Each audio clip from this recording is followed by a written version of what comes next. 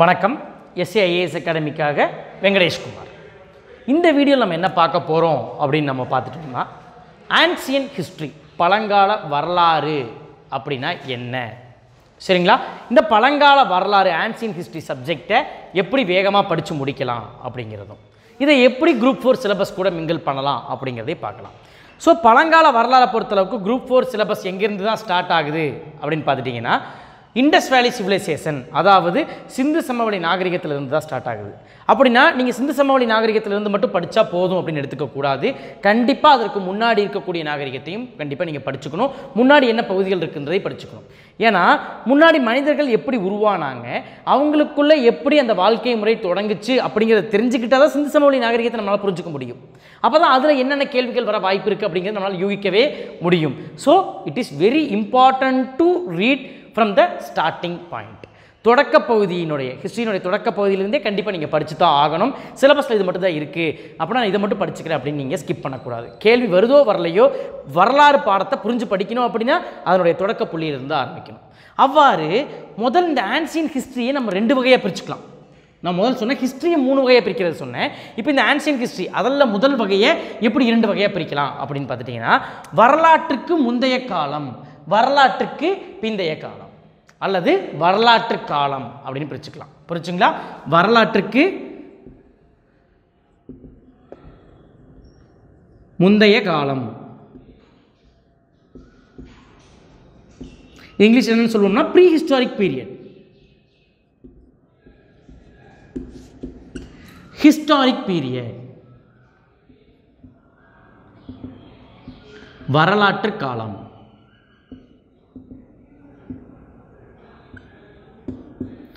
So thing is வரலாறுனா என்ன sir இது என்ன வரலாற்றுக்கு முந்தைய காலம்? அது என்ன வரலாற்று காலம்? அப்படின்ற ஒரு கேள்வி உங்களுக்குள்ளே எழலாம். இதை எப்படி நான் இங்கே வகைப்படுத்தியிருக்கோம் அப்படின்னு பார்த்துட்டிங்கன்னா எழுதப்பட்ட ஆவணங்கள் கிடைத்து அந்த எழுதப்பட்ட விஷயத்தின் மூலமாக சரிங்களா? எழுதப்பட்ட ஆவணங்கள் கிடைத்து எழுதப்பட்ட புத்தகமாக இருக்கலாம் அல்லது கல்வெட்டுக்களாக இருக்கலாம் அல்லது எழுதப்பட்ட பொறிக்கப்பட்ட நாணயங்களாக இருக்கலாம் செப்பு தகடுகளாக இருக்கலாம். இதன் மூலியமாக ஒரு விஷயத்தை நான் படித்து ஹிஸ்ட்ரியை தெரிஞ்சுக்கிறேன் அப்படின்னு பார்த்துட்டிங்கன்னா அதை ஹிஸ்டாரிக் பீரியட்னு சொல்லுவோம். எழுதப்பட்டது. புரிஞ்சுங்களா? அதுவே மக்கள் உபயோகப்படுத்திய பொருட்களை கொண்டு நம்ம ஹிஸ்ட்ரியை படித்தோம் அப்படின்னா அந்த பீரியட் தான் என்னென்னு சொல்லுவோம் நம்ம? வரலாற்றுக்கு முந்தைய காலம் ப்ரீ ஹிஸ்டாரிக் பீரியட் அப்படின்னு நம்ம சொல்லுவோம். ஃபார் எக்ஸாம்பிள் ஒரு பானை கிடச்சிருக்கலாம். பானை கிடச்சதுனால வந்து பார்த்துட்டிங்கன்னா பானை செய்கிறதுக்கு சக்கரம் அவசியம்.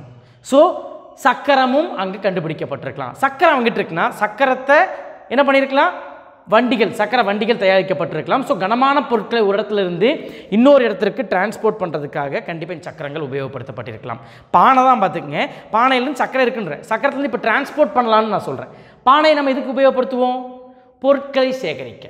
என்ன பொருட்களை சேகரிக்க? உணவுப் பொருட்களை சேகரிக்க. அப்படின்னா உணவுப் பொருட்கள் விளைவிக்கப்பட்டிருக்கின்றன. ஸோ பானை இருக்குது அதனால் என்னென்னு சொல்கிறோம் விவசாயமும் இருக்குது வேட்டையாடுறது மட்டும் அவனுடைய தொழில் கிடையாது. விவசாயமும் அவனுடைய தொழில். அப்படின்னு நம்ம இதில் கண்டுபிடிச்சிக்கலாமா இல்லைங்களா? நெக்ஸ்ட்டு பானைகளை உபயோகப்படுத்தி பொருட்களை சமைக்கலாம். மனிதனுக்கு சமைக்கவும் தெரிஞ்சிருக்கு அப்படின்ற விஷயத்தையும் நம்ம இங்கே பயன் பண்ணிக்கலாமா இல்லைங்களா? இந்த மாதிரி அவன் உபயோகப்படுத்திய பொருட்களை கொண்டு ஒருத்தருடைய வரலாறை நம்ம சொன்னோம்னா அதாவது எழுதப்பட்ட ஆவணங்கள் எதுவும் இல்லை மனிதனால் உபயோகப்பட்ட உபயோகப்படுத்தப்பட்ட ஆவணங்களை வைத்தே அவனுடைய வரலாற்றை கூறுகிறோம் அப்படின்னா அதுக்குத்தான் நம்ம வரலாற்றுக்கு முந்தைய காலம் ப்ரீ ஹிஸ்டாரிக் பீரியட்னு சொல்லுவோம். என்னைக்கு எழுதப்பட்ட ஆவணம் கிடச்சிச்சோ அந்த எழுதப்பட்ட ஆவணத்தில் படித்து இப்படி தான் ஒரு வாழ்க்கையை வாழ்ந்தான். சமூக வாழ்க்கை எப்படி இருந்துச்சு? அவனுடைய பொருளாதார வாழ்க்கை எப்படி இருந்துச்சு? அதே மாதிரி அவனுடைய சமய வாழ்க்கை எப்படி இருந்துச்சு? அப்படின்ட்டு அவனுடைய மொத்த வாழ்க்கை முறையும் நம்ம எழுதப்பட்ட ஆவணத்தின் மூலமாக தெரிஞ்சுக்கிட்டோம்னா அந்த பீரியட் தான் நம்ம என்னென்னு சொல்லுவோம்? ஹிஸ்டாரிக் பீரியட் அப்படின்னு நம்ம சொல்லுவோம். சரிங்களா? ஸோ இந்த ப்ரீ ஹிஸ்டாரிக் பீரியட் வரலாற்றுக்கு முந்தைய காலத்தில் நீங்கள் என்னென்ன தெரிஞ்சுக்கணும் அப்படின்னு பார்த்துட்டிங்கன்னா ஸ்டோனேஜ் ஸ்டோனேஜ்னா நத்திங் கற்காலம் அப்படின்னு நம்ம சொல்லுவோம். சரிங்களா? இந்த கற்காலத்தையே நம்ம மூன்று வகைகளாக பிரிக்கலாம். எப்படி? அப்படின்னு பார்த்துட்டிங்கன்னா சரிங்களா? Old stone age next middle stone age சரிங்களா? அதுக்கப்புறம் நியூ ஸ்டோனேஜ் அப்படின்னு நம்ம மூன்று வகையாக பிரிச்சுக்கலாம். சரிங்களா? ஏன்னா கிட்டத்தட்ட மனிதன் உருவாகி நானூற்றி அறுபது கோடி ஆண்டுகள் ஆச்சு. இந்த நானூற்றி அறுபது கோடி ஆண்டுகளில் தான் மனிதன் இன்னும் புது தோற்றத்தை ஹியூமன் பீயிங் அப்படின்னு சொல்லக்கூடிய ஹோமோசெப்பியின் தோற்றத்தை அடைஞ்சிருக்கிறதே இப்போ இப்போ கரண்டாக தான். சரிங்களா? அதற்கு முன்னாடி அவன் பல தோற்றங்களில் இருந்தான் அப்படிங்கிறதே நம்ம பார்த்துருக்கோம். சரிங்களா? அந்த ஏஜில் அவனுடைய மிக முக்கிய தொழில் என்னவா இருந்துச்சுன்னா வேட்டையாடுறது பொருள் தேடுறது தான். அதற்கு அவன் கல்லால் ஆன ஆயுதங்களை பயன்படுத்தினா அதனால தான் அதை நம்ம என்னன்னு சொல்கிறோம் stone age for his essential need stone were used. So the age was stone age because he don't have knowledge about the metals. உலோகங்களை பற்றிய அறிவு அவனுக்கு கிடையாது. ஒரு உலோகத்தை எப்படி பயன்படுத்தணும் அப்படிங்கிறது அவனுக்கு தெரியாது. ஸோ அதனால தான் ஸ்டோனேஜ்னு சொல்லுவோம். இந்த ஸ்டோனேஜவே நம்ம என்ன பண்ணலாம் அப்படின்னு பார்த்துட்டிங்கன்னா மூணு விதமாக பிடிக்கலாம் அதுதான் ஓல்டு மிடில் நியூ அப்படின்னு பிடிச்சிக்கிறோம் நம்ம இப்போ கரண்ட் ஃபேஸ் நம்ம எதை படிப்போம் அப்படின்னு பார்த்துட்டிங்கன்னா நியூ ஸ்டோனேஜ் சரிங்களா? இந்த ஃபேஸை இன்னும் மூணு விதமாக நம்ம பிரிக்கலாம். அதுதான் வந்து பார்த்துட்டிங்கன்னா பேலியோலித்திக் பேலியோ லித்திக் அப்படின்னா பழைய கற்காலம் இடைக்கற்காலம் மீசோலித்திக் நியோலித்திக் புதிய கற்காலம் அப்படின்னு மூன்று வகையாக நம்ம பிரிச்சுக்கலாம். ஸோ பத்தாயிரம் பிசிக்கு முன்னாடி இருந்த காலத்தை நம்ம என்னென்னு சொல்லுவோம் அப்படின்னு பார்த்துட்டிங்கன்னா பழைய கற்காலம்னு சொல்லிடுவோம். பத்தாயிரம் பிசிக்கு முன்னாடி எவ்வளோ வருஷத்தை நம்ம கணக்கு எடுத்துக்கிட்டாலுமே சரி அதை பழைய கற்காலம் சொல்லுவோம். பத்தாயிரம் பிசியில் இருந்து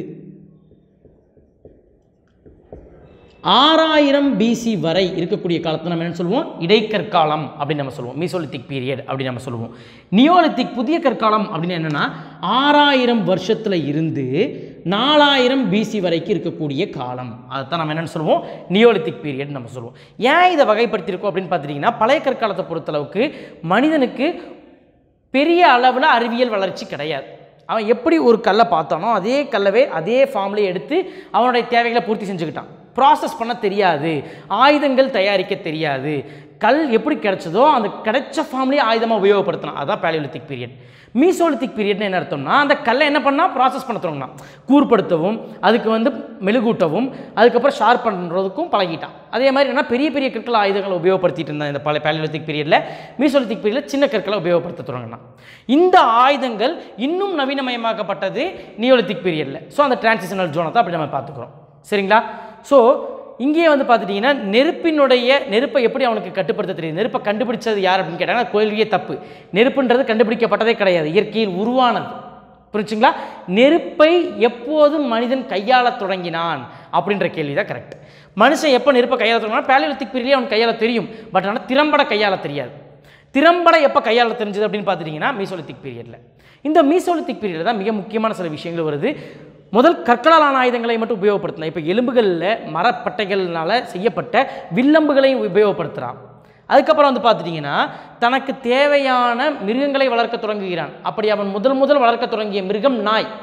அதுக்கப்புறம் ஆடு வளர்க்குறான் மாடு வளர்க்குறான். அந்த மிருகங்களிலிருந்து வரக்கூடிய தோலை எடுத்து உடையாக உணிஞ்சு ஆரம்பிச்சுக்கிறான். உடையாகவே அணிஞ்சுக்கிறான். அதுக்கப்புறம் வந்து பார்த்துட்டிங்கன்னா பருத்தி கம்பளினால் ஆன ஆடைகளையும் உபயோகப்படுத்த தொடங்கிடுறான். எந்த பீரியடில் மீசோலித்திக் பீரியடில் நியோலித்திக் பீரியடில் அவனுக்கு விவசாயம் அத்தியாவசியமாக தெரிய வந்துருச்சு. இந்த விவசாயம் எதில் தொடங்கியிருக்கலாம்? ஹார்டிகல்ச்சர் பழங்கள் மற்றும் காய்கறிகளை விளைவிக்கிறது தான் கண்டிப்பாக இந்த விவசாயம் தொடங்குச்சு. ஏன் அப்படி நான் சொல்கிறேன் அப்படின்னு பார்த்துட்டிங்கன்னா கண்டிப்பாக நெல்லில் ஒரு விதையில் இருந்து ஒரு மலத்தை கொண்டு வந்திருக்கிறது அப்படிங்கிறது அவனுக்கு தெரிஞ்சிருக்காது. அவன் நாடோடி பார்த்தா நடத்திட்டு இருந்தான். ரொம்ப தூரத்துக்கு மனுஷன் நடந்து போயிட்டே இருப்பான். ஒரு இடத்துல பப்பாளி மரத்தை பார்த்துருக்கலாம். அந்த பப்பாளி பழங்கள் மிகவும் ருசியாக இருந்திருக்கலாம். ஸோ அவன் ஒரு இடத்துல வந்து ரெஸ்ட் எடுப்பானா இல்லைங்களா? எப்போ எந்த இடத்துல பர்மனெண்ட் ரெஸ்ட் எடுத்துட்டானோ அந்த இடத்தையே வந்து அவன் வீடாக மாற்றிருக்கலாம் அந்த இடத்துக்கு பக்கத்துலேயே ரொம்ப தூரம் போய் ஏன் பப்பாளி சாப்பிடணும்னு சொல்லிட்டு அந்த பப்பாளி மரத்தை பிடுங்கிட்டு வந்து என்ன பண்ணியிருக்கலாம் தான் இருந்த இடத்துலையே நெட்டை வச்சுருக்கலாம். நெட்டை வச்சு அதில் இருக்கக்கூடிய பழங்களை எடுத்து ருசிச்சிருக்கலாம். அதுக்கப்புறம் தான் நாளடைவில் என்ன ஆகும் அப்படின்னு பார்த்தீங்கன்னா இவன் சாப்பிட்டு போட்ட விதைகளை மரங்களாக முளைக்க தொடங்கியிருக்கும். அதை பிடுங்கி பார்த்துருக்கலாம் கீழே விதை இருக்கலாம். ஸோ அப்படின்னா என்ன? இந்த விதையிலிருந்து தான் மரம் வருது அப்படிங்கிற ஒரு டெக்னிக் தெரிஞ்சு அப்படி அக்ரிகல்ச்சர் இன்டென்சிவாக மாறினது தான் என்னென்னு நான் சொல்கிறேன் நியோலித்திக் பீரியட் ஆனால் அக்ரிகல்ச்சர் முதல்நிலை விவசாயமாக பிரைமரி அக்ரிகல்ச்சரை எங்கேயே தாண்டிடுச்சு மீசோலித்திக் பீரியட்லேயே தொடங்கிருச்சு. முக்கியமாக சக்கரம் எப்போ கண்டுபிடிக்கப்பட்டது? ஏன்னா சக்கரம் கண்டுபிடிக்கப்பட்டதுக்கு அப்புறம் தான் மனுஷன் ரொம்ப தூரத்துக்கு ட்ராவல் பண்ண ஆரம்பிக்கிறான். மனுஷன் ரொம்ப தூரத்துக்கு ட்ராவல் பண்ணால் தான் வந்து என்னாகும்? அல்டிமேட்டாக வரலாறும் வேகமாக வரல வளரும். அவனுடைய நாகரிகமும் வேகமாக வளர்ச்சி அடையும் ஃபார் எக்ஸாம்பிள் இப்போ நம்ம காந்திபுரத்தில் இருக்கோம் அப்படின்னா காந்திபுரத்தில் ஒரு விதமான கலாச்சாரம் ஃபாலோ பண்ணப்படலாம். இதே மாதிரியான ஒரு கலாச்சாரம் மதுரையிலும் ஃபாலோ பண்ணப்படலாம். முதல்ல அவ்வளோ தூரத்துக்கு ட்ராவல் பண்ணி போக மாட்டேன். ஏன்னா எங்கிட்ட வந்து வாகனங்கள் கிடையாது மிருகங்கள் கிடையாது. இப்போ எங்கிட்ட வந்து பார்த்தீங்கன்னா சக்கரம் கிடச்சிருச்சு அதை வச்சு வாகனமும் தயாரிச்சிட்டேன். அதே மாதிரி பார்த்துட்டிங்கன்னா எங்கிட்ட மிருகங்கள் இருக்குது அந்த மிருகங்களை வண்டியில் பூட்டி நான் ரொம்ப தூரத்துக்கு ட்ராவல் பண்ணுவேன் மதுரையில். ஸோ இங்கிருந்து கொண்டு போகிற ஒரு பொருளை அங்கே கொண்டு போய் கொடுத்துட்டு அங்கே இருக்கக்கூடிய சில பொருட்களை நான் இங்கே கொண்டு வருவேன். அப்படின்னு என்ன ஆகுது? அறிவியல் பரிமாற்றம் நடக்கிறது. இந்த அறிவியல் பரிமா பரிமாற்றமே வேகமாக நாகரிகமாக மாறியது. சரிங்களா? அப்படி முதல் முதல் நாகரீகமாக நம்ம படிக்கிறது இந்தியாவில் எது அப்படின்னு பார்த்துட்டிங்கன்னா சிந்து சமவெளி நாகரீகம் இண்டஸ் வேலி சிவிலைசேஷன் ஐவிசி அப்படின்னு நம்ம சொல்லுவோம். சரிங்களா? இந்த சிந்து சமவெளி நாகரிகத்தை தான் முதல் முதல் படிக்கிறோம். இந்த சிந்து சமவெளி நாகரிகம் எந்த காலத்தை சார்ந்தது அப்படின்னு பார்த்துட்டிங்கன்னா செம்பு கற்காலத்தை சார்ந்தது. இந்த சிந்து சமவெளி நாகரிகம் எந்த பீரியடை சார்ந்தது? சால்கோ லித்திக். சிந்து சமவெளி நாகரிகம். இந்த சிந்து சமவெளி நாகரிகத்துக்கு இன்னொரு பேர் இருக்குது ஹரப்பா நாகரிகம். சரிங்களா? ஏன் இதை ஹரப்பா நாகரிகம் அப்படின்னு நம்ம சொல்கிறோம் அப்படின்னு பார்த்தீங்கன்னா ஆயிரத்தி தொள்ளாயிரத்தி இருபத்தி ஒன்றாம் ஆண்டு முதல் முதலில் கண்டுபிடிக்கப்பட்ட நகரமே சிந்து சமவெளி நாகரிகத்தில் கண்டுபிடிக்கப்பட்ட நகரமே ஹரப்பா தான்.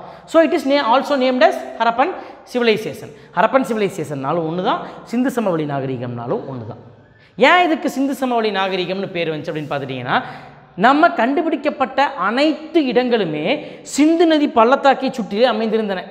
That's why it is named as Indus valley civilization that's it புரிஞ்சுங்களா? ஸோ இங்கே எப்படியெல்லாம் கேள்விகள் வரும் அப்படின்னு பார்த்துட்டிங்கன்னா இவர்கள் பயன்படுத்திய பொருட்கள். எடுத்துக்காட்டாக தாடியுடன் கூடிய சுண்ணாம்பு கல்லால் தயாரிக்கப்பட்ட மத போதகரின் சிலை முகஞ்சதாரோவில் கண்டுபிடிக்கப்பட்டிருக்கு. ஆனால் கேள்வி எப்படி கேட்கலாம்? தாடியுடன் கூடிய மத போதகரின் சிலை எங்கு கண்டுபிடிக்கப்பட்டது? கேட்கலாம். அல்லது பெருங்குளம் எங்கு காணப்பட்டதுன்னு கேட்கலாம். தானிய களஞ்சியம் எங்கு காணப்பட்டதுன்னு கேட்கலாம். சிட்டாடல் எனும் அரங்கம் எங்கு காணப்பட்டதுன்னு கேட்கலாம். புரிச்சுங்களா ஸோ இவங்க காணப்பட்ட கண்டெடுக்கப்பட்ட கட்டிடங்களோ அல்லது பயன்படுத்தப்பட்ட பொருட்களோ எந்த இடத்தில் பெறப்பட்டது அப்படிங்கிறது கேட்கலாம். மிக முக்கியம் பிரான்ஸ் ஸ்டாச்சு புரிச்சுங்களா டான்சிங் கேர்ள் பிரான்ஸ் ஸ்டாச்சு அதாவது வெங்கலத்தினால் தயாரிக்கப்பட்ட நடனமாடும் பெண்ணின் சிலை எங்கே கண்டுபிடிக்கப்பட்டதுன்னு கேட்கலாம். பசுபதியின் முத்திரைகள் எங்கே கண்டுபிடிக்கப்பட்டதுன்னு கேட்கலாம். பசுபதியினுடைய முத்திரை கிடச்சிருக்கு அது எங்கே கிடச்சிருக்கு அப்படின்ற மாதிரி கேட்கலாம். சரிங்களா? அதுக்கப்புறம் இந்த பெருங்கலத்தினோட ஷேப் என்னன்னு கூட கொஷின் கேட்கலாம். வாய்ப்பு இருக்குது அதே மாதிரி இங்கே நீர் மேலாண்மை முக்கியமாக வந்து பார்த்துட்டிங்கன்னா வெல். கிணற்றிலிருந்தே அனைத்து வீடுகளுக்கும் சரி பெருங்குளத்திற்கும் சரி நீரானது பெறப்பட்டது. ஸோ நீர் மேலாண்மை எதன் மூலமாக நடந்ததுன்னு கேட்கலாம் கிணறு மூலியமாக. சரிங்களா? அதாவது அனைத்து வீடுகளுமே சாலையை நோக்கி அதனுடைய திறப்புகள். Entrance were not home entrance of the home were not made in front of the roads புரிச்சுங்களா அதாவது இன்னைக்கு நம்ம கட்டக்கூடிய வீடுகளினுடைய திறப்புகள் சாலையை நோக்கி இருக்கின்றன. ஆனால் அன்னைக்கு சிந்து சமவெளி நாகரிகத்தில் கட்டப்பட்ட வீடுகள் சாலையின் பின்புறமாக அமைக்கப்பட்டிருந்தது. ஏன்னா பாதுகாப்பு காரணத்துக்காக கூட இருக்கலாம். சரிங்களா? முக்கியமாக ட்ரைனேஜ் பேட்டர்ன் கழிவுநீர் எப்படி வெளியேற்றப்பட்டது அப்படின்னா கண்டிப்பாக ட்ரைனேஜ் சாலைகளின் இருபுறங்களிலும் சாக்கடைகள் கட்டப்பட்டிருந்தன. சாக்கடைகளை கட்டு அந்த சாக்கடைகளை சுத்தம் செய்வதற்காக துளைகளும் விடப்பட்டிருந்தன. இதெல்லாம் மிக முக்கியமான விஷயம். ஒவ்வொரு வீட்டிலும் கிணறுகள் காணப்பட்டன. சரிங்களா? நகரின் உயரமான பகுதிகளில் பணக்காரர்களும் தாழ்ந்த பகுதியில் ஏழைகளும் வாழ்ந்தனர். சரிங்களா? ஏன்னா உயரமான பகு- பகுதிகளில் அடுக்குமாடி வீடுகள் காணப்பட்டன. சாதாரண தாழ்ந்த பகுதிகளில் சாதாரண வீடுகள் காணப்பட்டன. இதை வச்சு நம்ம சொல்லிக்கிறோம். சரிங்களா? சிற்றாடல் பொதுவாக நகரத்தின் உயரமான பகுதியிலே கட்டப்பட்டன. முக்கியமாக வந்து பார்த்துட்டிங்கன்னா இன்னைக்கு மெட்ராஸில் வந்து என்னாச்சு? சென்னையில் வெளில வந்து வந்த தண்ணி வெளியேற வாய்ப்பு இல்லாமல் போயிடுச்சு ஆனால் அன்னைக்கு ட்ரைனேஜ் பேட்டர்னை ப்ராப்பராக வச்சுருந்தாங்க இண்டஸ்ட்ரியல் சிவிலைசேஷன் பீப்புள் இன்னைக்கு ஸ்வச் பாரத்னு நம்ம சொல்கிறோம் இன்றைக்கும் அல்டிமேட்டாக சொல்லப்போனால் நிறைய வீடுகளில் கழிவறைகள் இல்லை. சரிங்களா? கதவுகளை மூடன் பல பல கேம்பெயின்ஸ்லாம் லான்ச் பண்ணிகிட்டு இருக்கோம். பட் ஆனால் அன்னைக்கு சிந்து சமவெளி நாகரிகத்தில் காணப்பட்ட ஒவ்வொரு வீடுகளிலும் கழிவறைகள் இருந்தன. சரிங்களா? ஸோ இந்த மாதிரி மிக முக்கியமான விஷயங்களை தான் நீங்கள் பார்க்கணும். இதுதான் first type of question second type எப்படி வரலாம் அப்படின்னு பார்த்துட்டிங்கன்னா ஒரு இடம் அது அமைந்துள்ள மாநிலம் அல்லது அந்த அமைந்துள்ள நாடு அப்படின்னு கேட்கலாம். ஃபார் எக்ஸாம்பிள் ஹரப்பா மொகஞ்சதாரோ இந்த இரண்டு நகரங்களுமே எங்கே தான் இருக்குது அப்படின்னா பாகிஸ்தானில் தான் இருக்குது சரிங்களா? பாகிஸ்தானில் தான் இருக்குது இதை வச்சு கேட்கலாம். கேள்வி. அல்லது வந்து பார்த்துட்டிங்கன்னா தொலவீரா இருக்குது குஜராத்தில் வந்து லோத்தல் இருக்குது அதாவது நெருப்பினால் அழியப்பட்ட நகரம் கோட்டிஜி இருக்குது இந்த மாதிரியான நகரங்கள் எங்கு காணப்பட்டன? எந்த மாநிலத்தில் இருக்குது லோத்தல் எங்கே இருக்குது குஜராத்தில் இருக்குது ராக்கிகர் எங்கே இருக்குன்னு கொஷின் கேட்கலாம். ரூப்பர் எங்கே இருக்குன்னு கேட்கலாம். ரூப்பர் பஞ்சாப்ல இருக்குது இந்த மாதிரி இடங்கள் புத்தகத்தில் குறிப்பிடப்பட்டுள்ளன. ஸோ இந்த இடங்களை வந்து ஏ சைடில் கொடுத்தும் பி சைடில் அதனுடைய மாநிலங்களை மாற்றி மாற்றி கொடுத்தும் மேட்ச் த ஃபாலோயிங் மாதிரி கொஷின் கேட்கலாம். புரிச்சுங்களா அதே மாதிரி இந்த இடங்களை கொடுத்து அந்த இடத்துல கண்டெடுக்கப்பட்ட பொருட்களை மாற்றி மாற்றி கொடுத்தும் மேட்ச் த ஃபாலோயிங் மாதிரி கொஷின்ஸ் கேட்கலாம். ஸோ நீங்கள் இந்த மாதிரி இந்த இண்டஸ்ட்ரியல் சிவிலைசேஷனை பின்பற்றினா போதும்.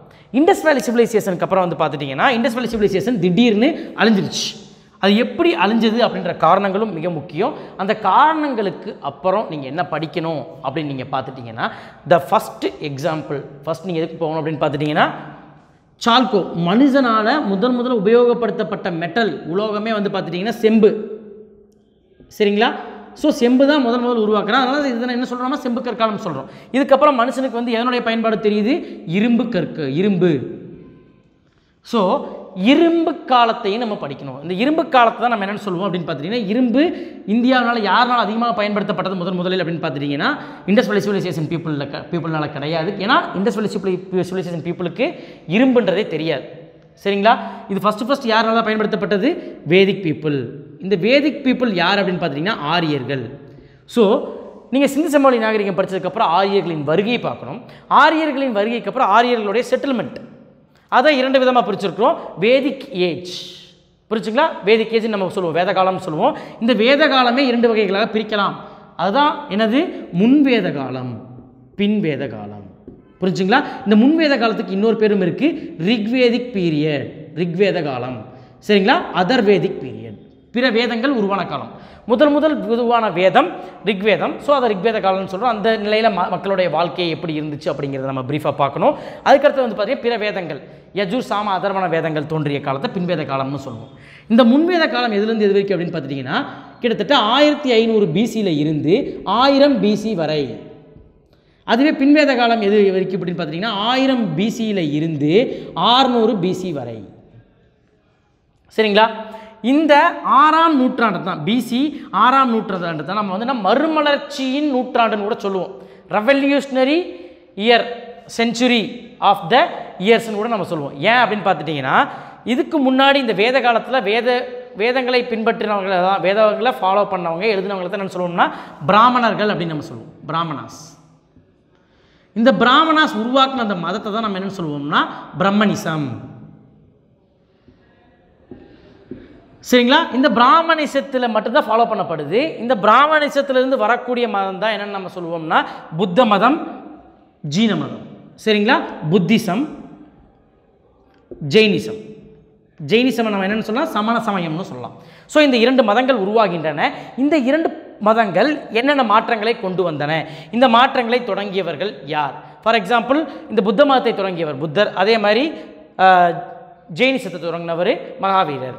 ஸோ மகாவீரர் இருபத்தி நாலாம் திருத்தங்கரர்கள் இருபத்தி மூணு திருத்தங்கரர்கள் யார்? இவங்களுடைய கொள்கைகள் என்ன? திரி ரத்னங்கள்னு சொன்னோம்னா ஜெயினிசம். திரி பீடகங்கள்னு சொன்னோம்னா புத்திசம். புத்த மத மாநாடு மொத்தம் ஆறு மாநாடுகள் வரைக்கும் இருக்குது ஜீன மதத்தில் ரெண்டு மாநாடுகள் இருக்குது இந்த மாநாடுகள் எங்கு நடந்தன? இந்த மாநாட்டின் போது என்னென்ன பிரிவுகள் ஏற்பட்டன? புத்த மதத்தில் மூன்று மத பிரிவுகள் இருக்குது அதான் வந்து என்னென்னு பார்த்துட்டிங்கன்னா புத்திசத்தில் மகாயானம் ஹினாயானம் வஜ்ரயானம். மகாயானம்னா ஒன்றுமே கிடையாது. மகாயானம்னா புத்தரை கடவுளாக பார்ப்பது. உருவ வழிபாடு இருக்குன்னு அர்த்தம். ஹினாயானம்னா புக் புத்தரை டீச்சராக பார்க்கறது. புத்தா எஸ் அ டீச்சர் அப்படின்னா இட் இஸ் ஹினாயானம். வஜ்ரயானம் அப்படின்னா சூப்பர்ஸ்டிஷன் பிலீவ் மந்திரங்கள்லாம் இருக்குது இந்த மந்திரங்களை சொன்னால் நம்ம நினைக்கிறதெல்லாம் நடக்கும் அப்படின்னு சொன்னாங்க அப்படின்னு பார்த்தீங்கன்னா அதுதான் வஜ்ரயானம். வஜ்ரயானத்தில் என்ன இருக்குது உருவ வழிபாடு இருக்குது ப்ளஸ் மந்திர சொற்களும் இருக்குது ஆனால் மகாயானத்தை பொறுத்தளவுக்கு புத்தரை கடவுளாக தான் நினச்சாங்க. ஹினாயனை பொறுத்தளவுக்கு புத்தரை டீச்சராக தான் நினச்சாங்க. அதே மாதிரியே பார்த்தீங்கன்னா ஜீன மதம் இரண்டு வகையாக பிரிக்கப்பட்டுச்சு. அது என்னன்னா ஸ்வதம்பரா திகம்பரா. இந்த மாதிரி பிரிக்கப்பட்டுச்சு. சரிங்களா? ஸோ இந்த மதங்கள் எப்படிப்பட்ட மாற்றங்களை கொண்டு வந்தன? சமுதாயத்தை எப்படி சீர்திருத்தின? அப்படிங்கிறது தான் இது வரைக்கும் நம்ம பார்ப்போம். சரிங்களா? இதுக்கப்புறம் நம்ம பார்க்கக்கூடிய பார்ட் என்ன அப்படின்னு பார்த்துட்டிங்கன்னா புத்த மதம் ஜீன மதம் இது தனியாக படிச்சுக்கணும். ஸோ அதே மாதிரி பார்த்தீங்கன்னா வேதகாலம் வேதகாலம் ஆறுநூறு பிசி வரைக்கும் கண்டினியூ ஆகிட்டு இருக்கு. இந்த ஆறுநூறு பிசி டைமில் சின்ன சில அரசாங்கங்கள் உருவாயின. சில சில முக்கிய அரசாங்கங்கள் உருவாயின. அதைத்தான் நம்ம என்னன்னு சொல்லுவோம்?